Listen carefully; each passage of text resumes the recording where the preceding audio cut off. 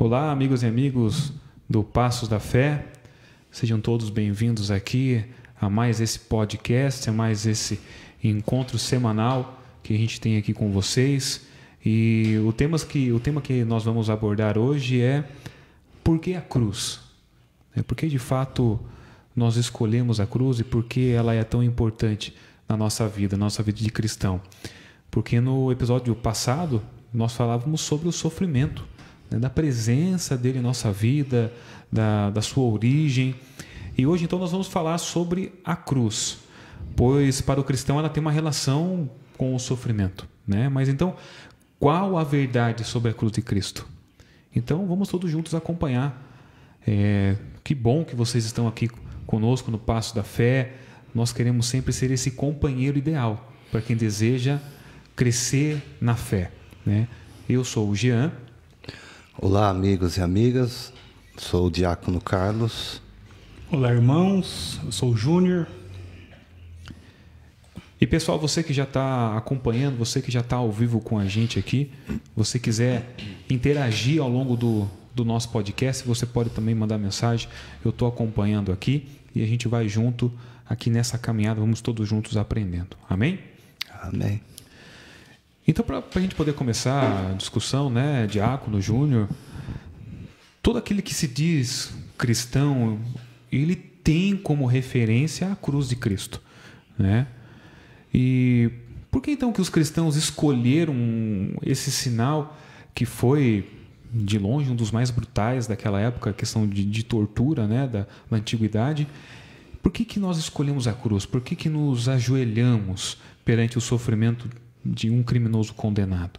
Nós vamos encontrar lá em, em 1 Pedro, capítulo 2, versículo 24, que é o seguinte: Ele carregou nossos pecados em seu corpo, no madeiro, a fim de que, mortos para o pecado, vivamos para a justiça, pois por suas feridas vocês foram curados. Pois é, né? Esse sinal distintivo da cruz ele não é à toa que foi tomado pelos primeiros cristãos. Aliás, como você disse, né, já? Ah, era uma tortura bárbara, né, imposta pelo Império Romano, que colocava, né, pregado na cruz todas aquelas pessoas condenadas, né, consideradas marginais naquela época. E era muito dolorido, de fato. Sim. Então, a, a referência da cruz tem a ver também né, com o episódio passado que nós gravamos, onde nós falávamos então do sofrimento humano. Por que do sofrimento humano? E por que né, nós cristãos temos a cruz como referência? Então a ideia deste podcast de hoje é justamente esse, né? Na cruz de Cristo nós temos né, a, a redenção. Mas redenção do quê? E o que, que tem a ver a cruz de Cristo com o sofrimento humano? Por que essa analogia né, da, da cruz e do sofrimento? Se nós tomarmos né, o, o Antigo Testamento, principalmente no profeta Isaías, né, ele vai dizer lá que ele carregou sobre si as nossas enfermidades. Isaías 53, né? Então, esse carregar é num sentido não só né, de dizer que é teológico, ou coincidentemente alguém falou lá atrás que ele carregou sobre si os pecados, as enfermidades, né? É, mas na verdade tem um sentido espiritual.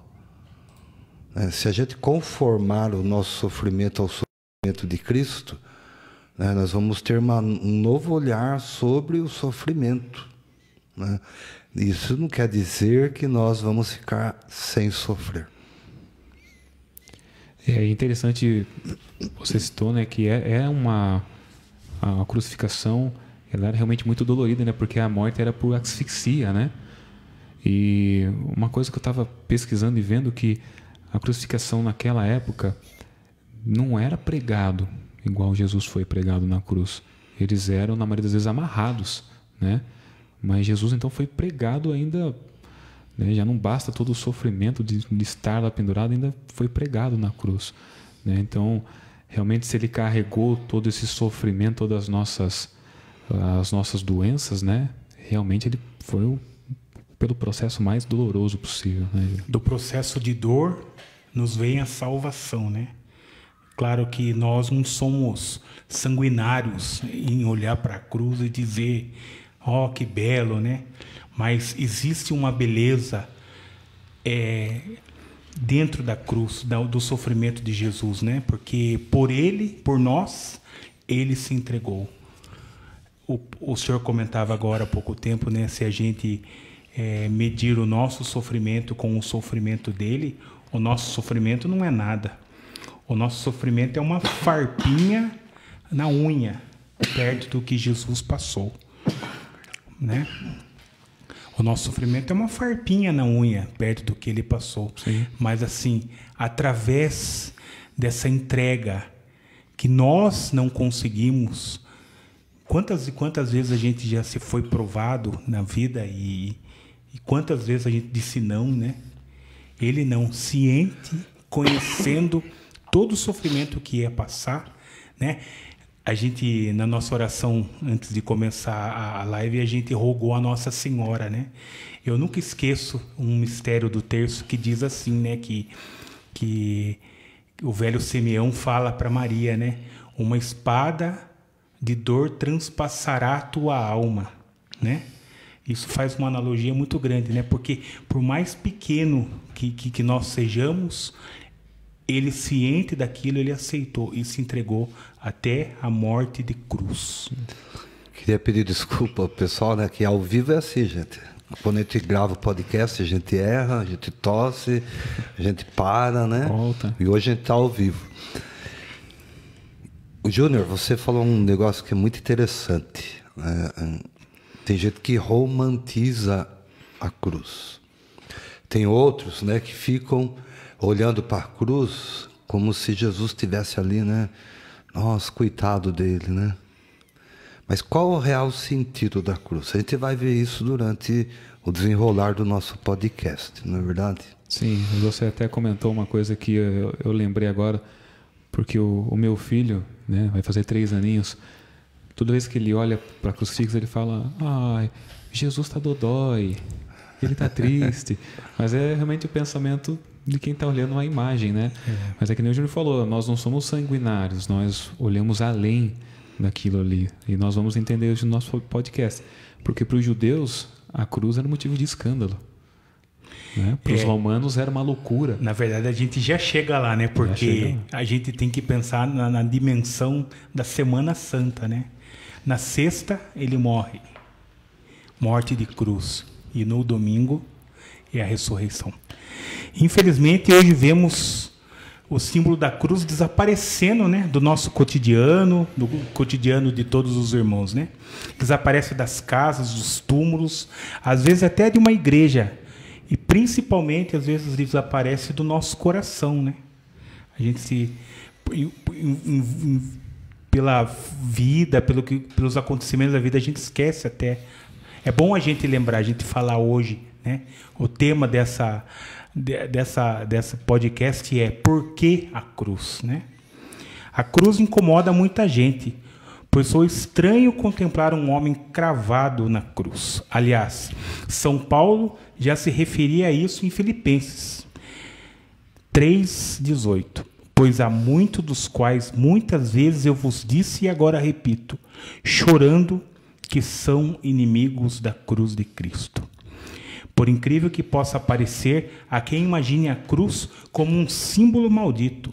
Outros acreditam que não houve cruz alguma, que Jesus não morreu na cruz.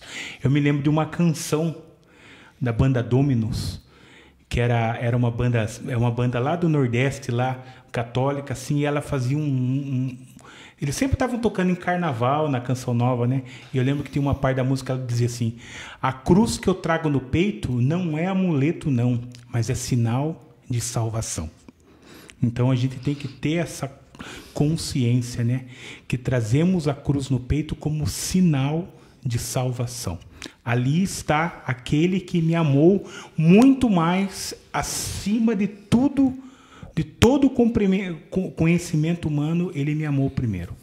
Nunca o meu amor para Jesus vai ser tão grande como foi o amor dele por nós. No peito eu levo uma cruz, né? já dizia também o Padre Zezinho, Pai né? Zezinho. Você que está nos ouvindo, nos assistindo, você tem uma cruz na sua casa? Você carrega essa cruz consigo?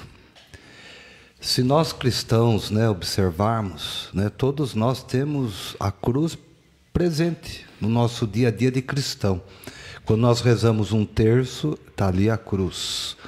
Quando nós vamos, né, à igreja, né, lá, assim, no, no presbitério, lá no alto, está a cruz de Cristo. Sobre o altar também está a cruz de Cristo. Quando chegamos na igreja, qual o primeiro sinal que nós fazemos? Sinal da cruz. Sinal da cruz. A bênção proferida né, pelo sacerdote é um sinal da cruz. Então a cruz, ela não é simbólica, né, Júnior? E já a cruz é algo real, né? E o sentido é esse que nós vamos encaminhando hoje para entender o porquê da cruz, né? A cruz ela tem um significado muito amplo, porque a- a- o demônio, inclusive, ele odeia a cruz Foge. foge da cruz. Por quê? Porque no, no- no- no entender dele, ele quer né, perder toda a humanidade. E Deus, no seu amor infinito, na sua bondade infinita, pensa né, logo no pecado original que a gente falava no episódio passado Sim, falamos. né? Quem não ouviu, então vai lá e ouça né, o nosso podcast para compreender o que nós estamos falando hoje. Foi no amor de Deus pelo, ao mundo, pelo mundo, que ele envia seu filho para a redenção dos pecados da humanidade. Aí a gente já começa a compreender um pouquinho o sentido da cruz. Alguns teólogos vão dizer que Jesus não veio para viver, ele veio para morrer. Morrer. Olha só. Né? Porque ele sabia, né? E tanto que, se a gente for olhar os evangelhos, como foi falado também, a gente vai ver que Jesus, ele vai, vai sempre dizer assim, que Deus não quer mais sacrifícios humanos. né? A gente viu aí no Evangelho de, de alguns dias atrás que, que Jesus es- né, faz um chicote né, e expulsa né, do templo Sim. né, todos os vendedores. Por quê? Porque ele, ele não queria dar o sentido mais né, da salvação através do sacrifício, né, daquele sacrifício. né? Tanto que ele é, um, é, é o sacrifício de Deus. Um só sacrifício, né? O sacrifício. Tá. Agora vamos dizer, né, principalmente os primeiros padres da igreja, eles, né, principalmente Santo Anselmo, é uma questão até teológica, né? Ele vai dizer assim que que Deus, né, ele não está cobrando dívida, né? A gente tem assim na oração de Jesus do Pai Nosso, ele ensina que nós devemos perdoar, né, quem nos deve, né? Assim como nós perdoamos a dívida do outro, né? Pedimos perdão a Deus pela dívida. E qual dívida que é essa? É dívida financeira? É a dívida do quê? Se nós falávamos né, que o, o, a- pelo pecado do homem entrou no mundo o sofrimento, no plano de Deus não havia sofrimento, havia vida, vida plena, vida eterna, vida na presença divina. Com o advento do pecado, então, Deus lá, naquele momento, já pensa num plano de salvação. E jamais, né, Satanás iria imaginar que o plano da salvação seria Deus pensar que seu filho ia morrer pagando todas as dívidas. Todas. Então, em Jesus não há mais sacrifício, em Jesus é o pleno sacrifício de Deus. Ele redime todo o pecado na cruz. Então, quando nós olhamos para a cruz, né, como a gente falava assim, ah, romantizado, coitadinho, né? Sim.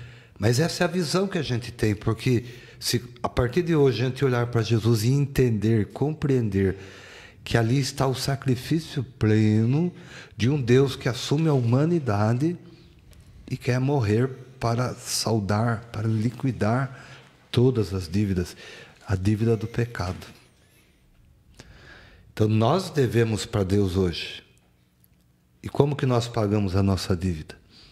Sendo um bom cristão, né? vivendo né? essa cristandade, procurando ser amor onde é necessário amor, ser misericórdia onde é necessário misericórdia, ser pessoas do bem. Então, o sacrifício da cruz começa a ter esse sentido para nós. Né? Por isso que né, São Pedro já dizia que há tantos inimigos da cruz de Cristo que muitos não querem abraçar essa cruz, porque não entenderam o real significado dela. Não entende o sentido, né, o motivo por trás disso. E por isso que, como o Júnior falou, parece que vem se perdendo isso, né? Você não, não encontra mais ele com, com os símbolos, não encontra mais nas casas, mas acho que é preciso retomar isso daí, né? Eu até falava pro, pro, no grupo de jovens esse, esse final de semana que a gente não vê mais os católicos carregando, né? Crucifixo, ou mantendo um, um espaço na sua casa, né? um altar, alguma coisa, ou que, ele, o crucifixo fique em evidência. Porque faz parte da, da nossa fé, faz parte da nossa igreja, e é importante a gente manter isso, né? Não como uma tradição, mas como realmente uma verdade que a gente vive, que a gente carrega a uma, nossa cruz. Uma coisa que eu lembro assim no início da minha conversão, o senhor estava lá desde o começo, né?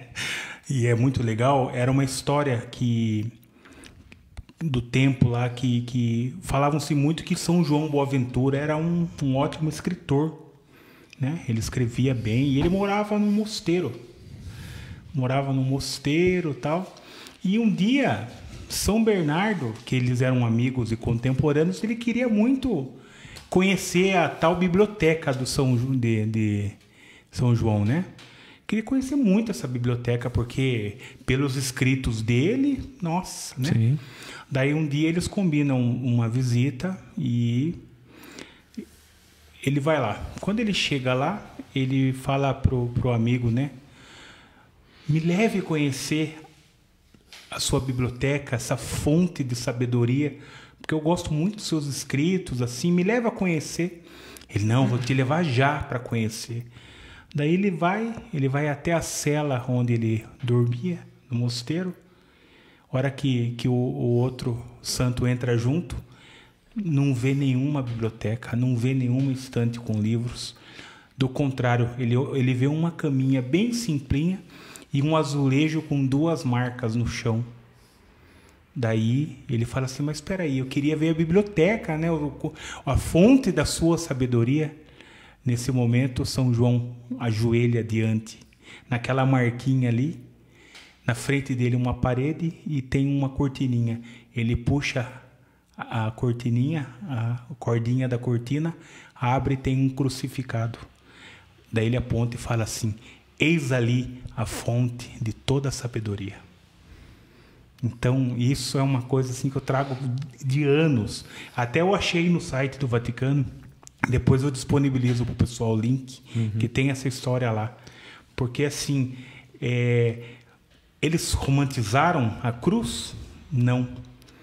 É compreender que ao olhar para a cruz de Cristo, ali está toda a fonte de sabedoria, todo o nosso mistério.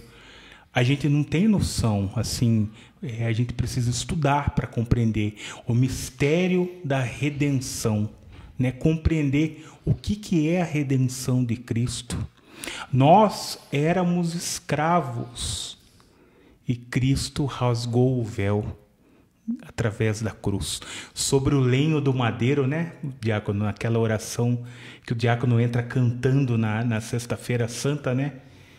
Né? Sobre o lenho do madeiro nos permitiu, foi, nos foi dada a redenção.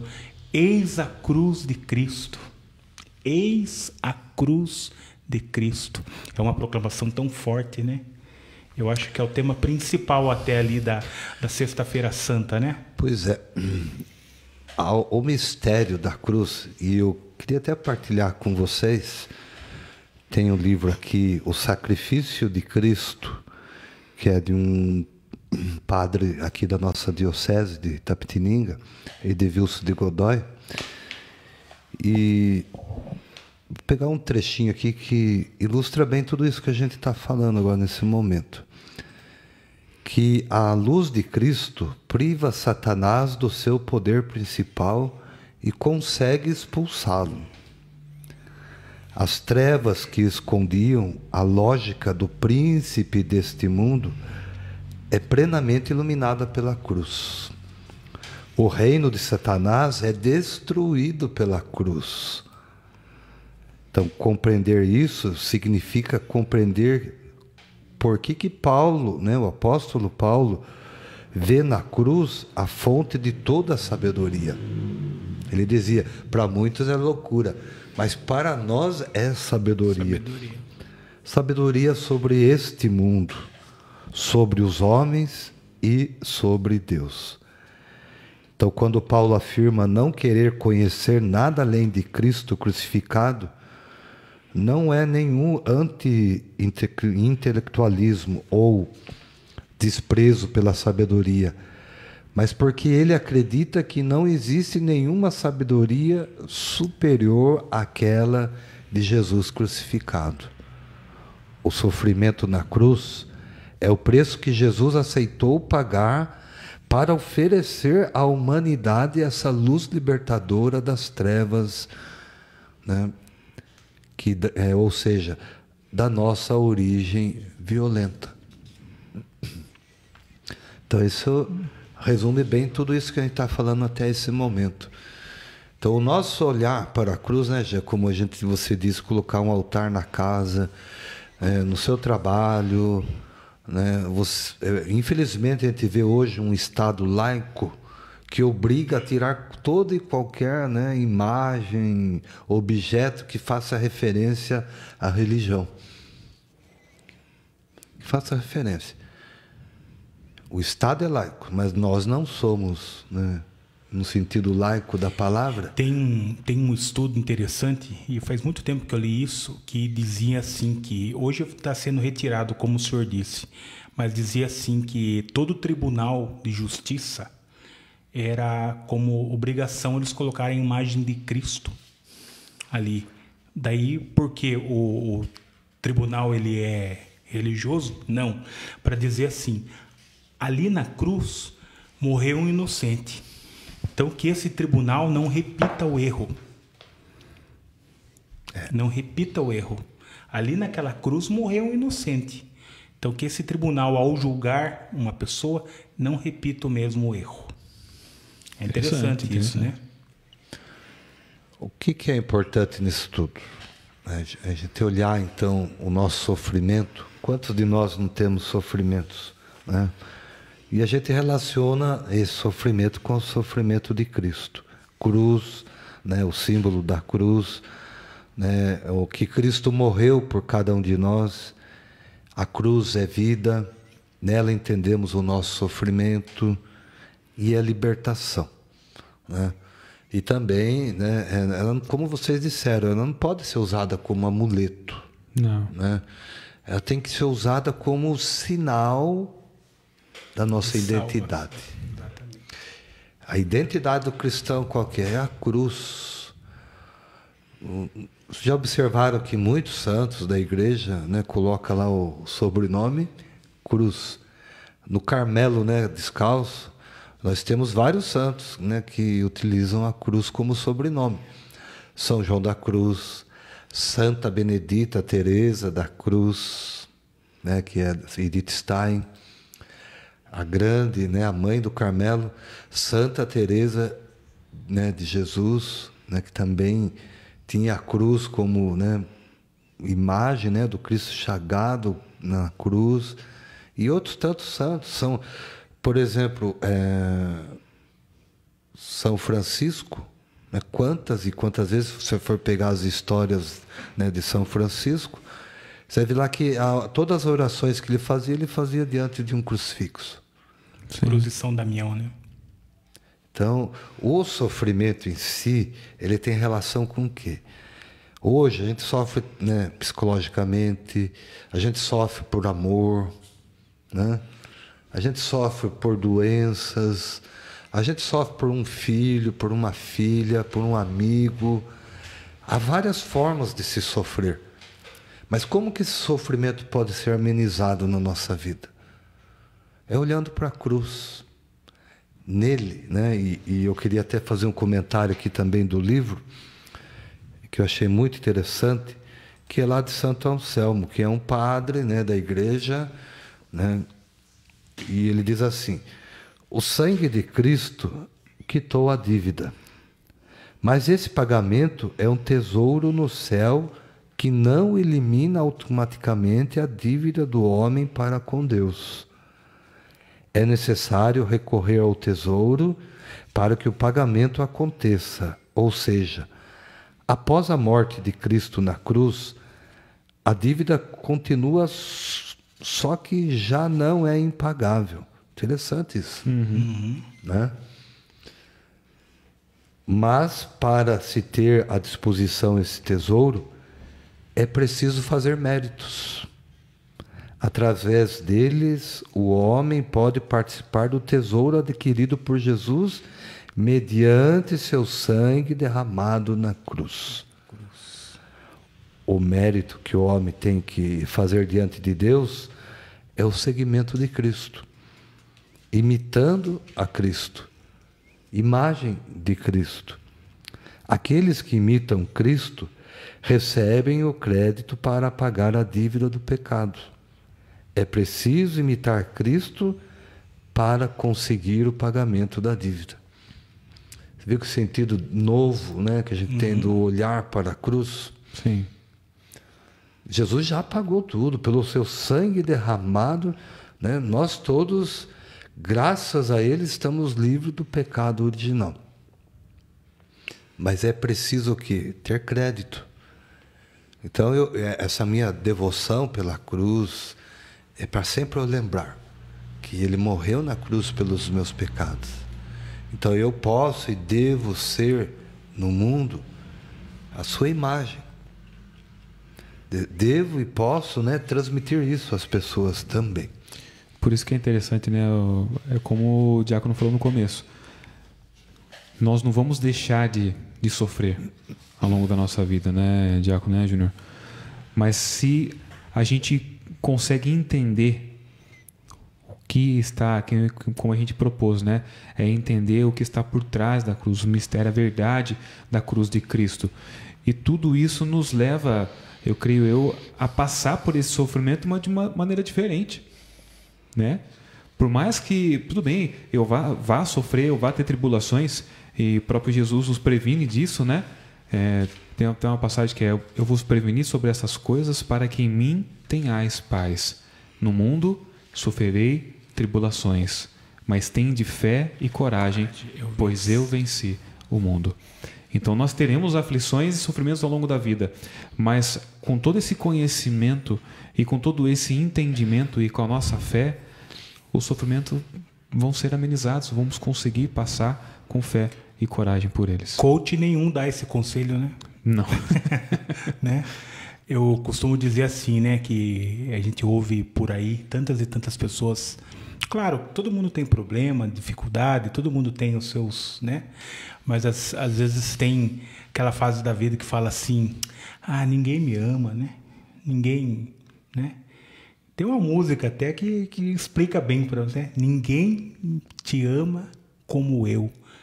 Olhe para a cruz, esta é a minha grande prova. Grande prova. Então, quando a gente tiver dúvida, quando a gente tiver assim, esmorecido, olhe para a cruz. Mas não olhe com um olhar assim só de sofrimento, além do sofrimento. Na, né, além da cruz, além da cruz tem a vitória. Tem a música da. Eu gosto muito de música, né? Músico é. é música sim. Músico se. Né? Se não músico, falar de música. Músico conversa com música, né? Então a música fala assim: é, Vitória é o que vem depois da cruz, né? a Ziza canta. Então você vê quanta referência da cruz né, Quanta nas músicas. Gente, o importante, né, a gente fala sempre em, em, em sofrimento, né, Jean? Por exemplo, sinais, né, sintomas do sofrimento atuais, por exemplo, estresse, né? Estresse, a melancolia, a depressão, né? insônia. Quanta gente não sofre de insônia, né? ansiedade, o mal do século.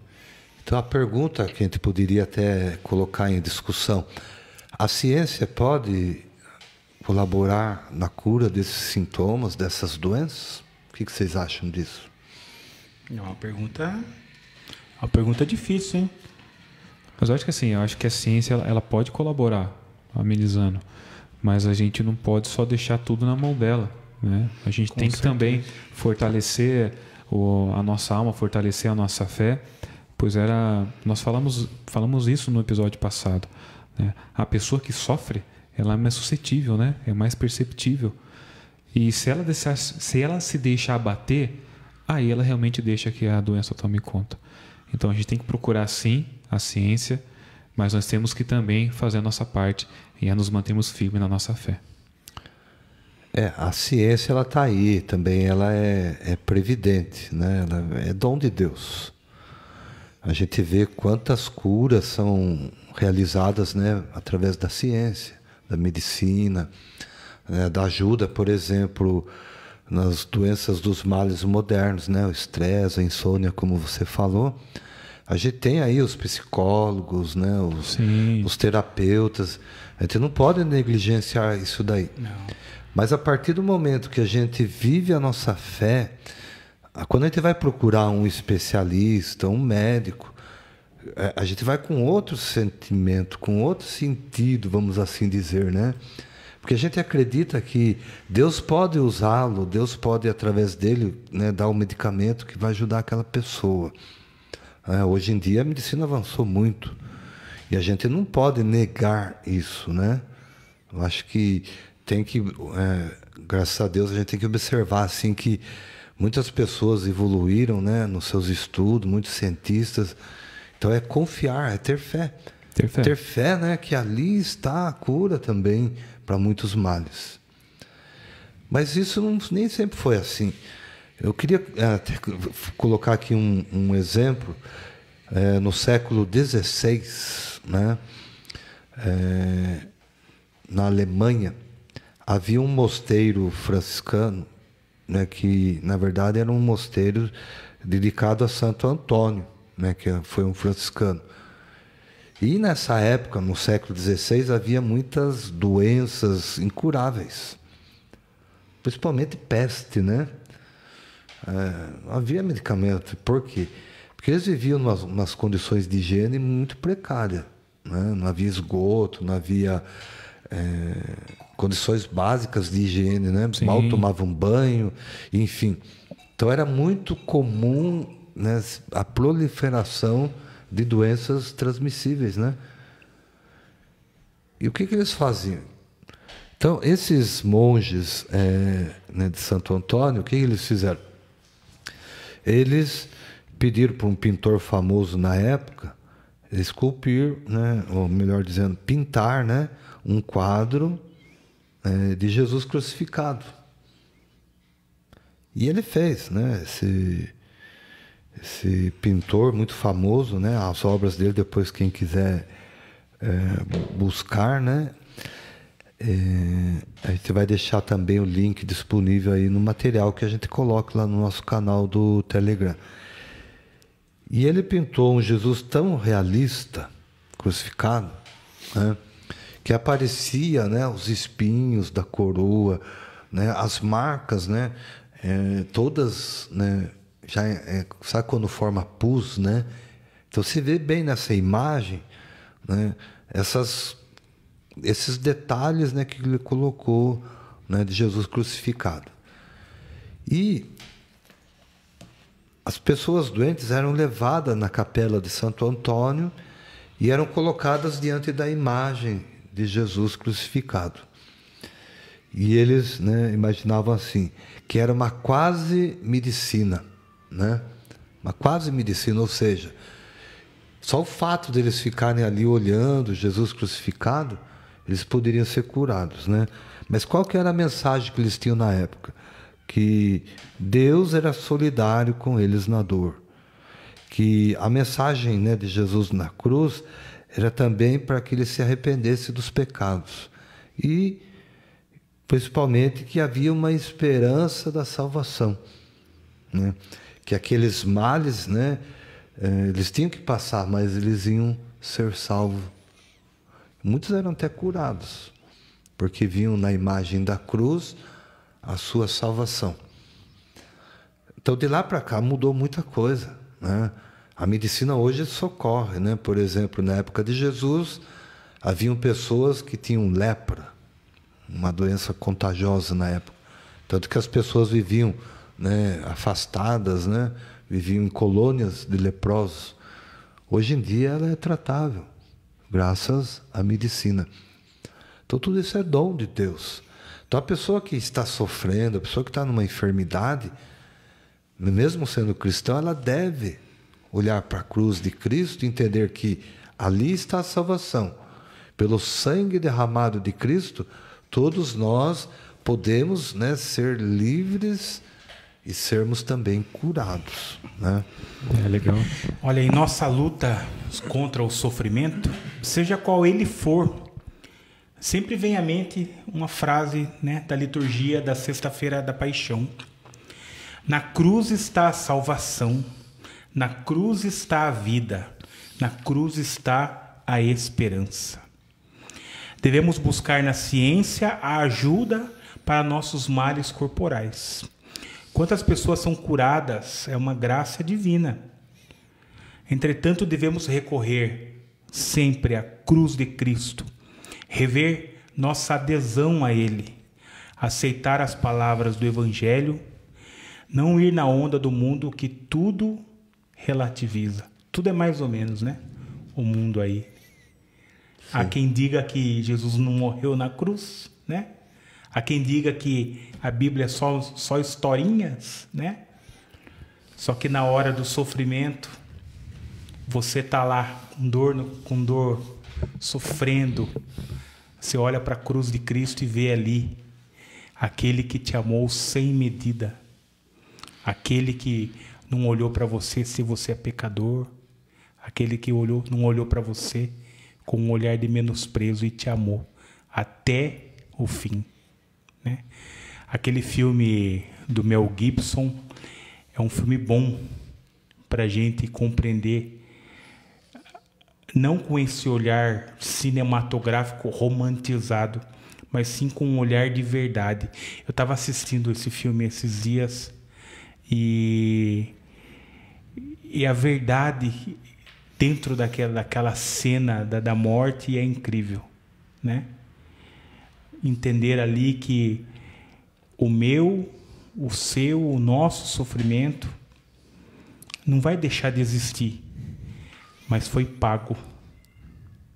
Mas foi pago. É tão bonito pensar assim, né? É, e é profundo, né? E eu acho que é, é, é, importante tudo isso que a gente vem colocando, né? Você que está nos acompanhando, você que tá, está nos ouvindo, aproveitar até a audiência que a gente está aqui ao vivo agora, Diácono, até para avisar, né? Tem bastante gente interagindo com a gente aqui, né? Falando não só do, do, da cruz que foi se perdendo, mas de outros costumes, né? Como até pedir bênção e rezar e agradecer durante a, a, as refeições tudo mais. Tem até a Carla aqui que concordando com o Júnior, né, da parte da música, sempre colocando. Ela até fez uma menção que Santa Rita também faz uma menção, né, é, sobre a cruz receber um sinal. O, o irmão do diácono aqui, o senhor Arthur, falando uma passagem aqui lá em Eclesiásticos que fala sobre médicos e medicinas. Então, aproveitar você que está nos assistindo ao vivo, acompanha também o nosso podcast, o nosso trabalho. É, tem outros episódios, nós citamos aqui o sofrimento, né, Diácono? Falamos sobre ele no episódio passado, falamos é, sobre as influências do mundo moderno, falamos sobre isso no episódio onde falamos sobre querigma. Então tem esse e outros assuntos que realmente nos faz entender melhor a nossa fé, entender melhor a nossa igreja, e esse é o nosso objetivo, né? Trazer esse conteúdo para sermos o seu companheiro na fé. E para a gente poder já concluir, né, já estamos com 40 minutos já de, de gravação, para fazer esse resumão pessoal, por que a cruz? Né, Diácono? A cruz, né, ela contém então, como nós vimos hoje, a salvação.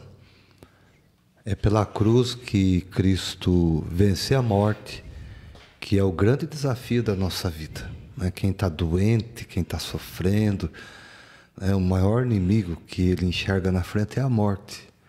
Né? Então eu queria dizer assim para todos, inclusive para nós aqui, né? É, não devemos olhar a cruz de Cristo somente com o olhar né, de tristeza, de melancolia, mas saber que ali está o sinal da vitória a vitória sobre a morte. Que depois de três dias da morte do Senhor, ele ressuscitou. E pela sua ressurreição, nós todos também vamos ressuscitar. Então você que hoje passa por dificuldades, né, seja qual ela for, de sofrimento, Olhe para a cruz de Cristo. Né? O porquê da cruz é esse: a gente olhar para a cruz de Cristo, que é o nosso sinal distintivo, né? colocá-lo na sua vida, como foi dito hoje durante esse programa. Coloque né, na entrada da sua casa, faça um altar ali com o seu santo de devoção, coloque a cruz de Cristo. Se você estiver olhando aqui, tem uma cruz aí logo no, né, perto da nossa mesa de som aqui. Coloque, por quê? Que na casa de cristão que há a cruz, eu tenho certeza absoluta, né, o inimigo não chega perto. Amém. Não chega. Ali é uma casa de paz, é uma casa de vida, é uma casa de alegria. E eu queria terminar também dizendo assim: na ordem né, do Carmelo Descalço, né, eles têm a regra de vida.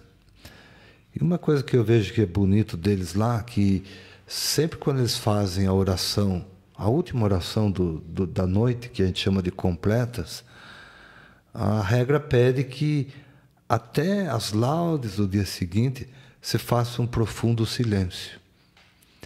Então, muitas vezes, nós temos dificuldade de parar diante daquilo que é sagrado, diante da cruz, diante de Jesus sacramentado, porque a gente quer falar. Né? E, e, falar, já vai dizer em Provérbios, né? Quem menos fala, menos comete pecados. Né? Então a gente se policiar nesse sentido, que olhando para a cruz, né, no silêncio, muitas vezes lá daquele madeiro, daquele momento, Jesus está nos amando em profundidade. Ele quer dar a vida e a vida em abundância. Depois da cruz só veio vitória, veio a ressurreição, veio o Espírito Santo, veio a igreja, veio tudo que nós estamos vivendo hoje. Tudo. Tudo. Tudo isso é a partir da cruz de Cristo.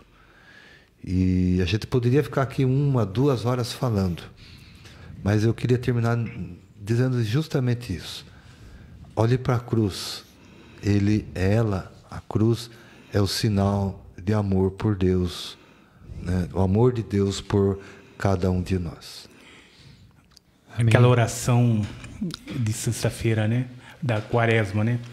Nós vos adoramos, Senhor Jesus, e vos bendizemos, porque pela vossa santa cruz remistes o mundo. E terminamos assim. Ninguém te ama como eu, ninguém te ama como eu. Olhe para a cruz, esta é a minha grande prova. Ninguém te ama como eu. Muito bem, pessoal. Assim, então, nós vamos encerrando aqui essa, essa transmissão, essa live. Você que nos ouve também através do nosso podcast. Então, pessoal, o objetivo do nosso podcast é ser esse companheiro para vocês, companheiro de fé, né, para todos os momentos. Então, por isso a gente pede conta com a ajuda de vocês, né? Quando você compartilha o nosso conteúdo, você está com certeza contribuindo também ao trabalho de evangelização, tá? Então, nos ajude a chegar a mais e mais pessoas, tá bom, pessoal? E é simples, quando você abre o link, e normalmente estamos mandando um link na, no nosso Facebook, nos grupos do WhatsApp, no Telegram, você clica no link e ele vai direcionar você a um aplicativo da, do Anchor, seja do Spotify, da Apple e de outros, né, Diácono Júnior. Então, e todos eles têm a opção para você enviar para outras pessoas. Então faça isso. Envie link para as outras pessoas para que elas também tenham acesso a esse conteúdo. Ou se você tiver alguma dificuldade, peça para alguém também que tenha essa facilidade tá? para poder te ajudar. Tá bom? Pedimos então a, bênção, Diácono. Vamos, opa. Agradecendo então a presença de todos né, nesta live e quem também nos acompanha no nosso podcast. Tá? Nos ajude aí a divulgá-lo. O Senhor esteja convosco. E Ele está no meio de nós. Abençoe-vos o Deus Todo-Poderoso, o Pai, o Filho e o Espírito Santo. Amém. Amém.